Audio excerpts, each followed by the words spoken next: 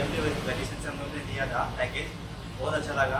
सब हर एक चीज़ की सुविधा थी मतलब गाड़ी पिकअप से लेकर ड्रॉप और होटल वगैरह जितना मतलब घूमना फिरना था बहुत अच्छा लगा। मतलब बहुत मतलब अभी नेक्स्ट टाइम हम आएँगे कहीं भी किसी को सजेस्ट भी करेंगे ना तो डीएमडी के लिए बोलेंगे।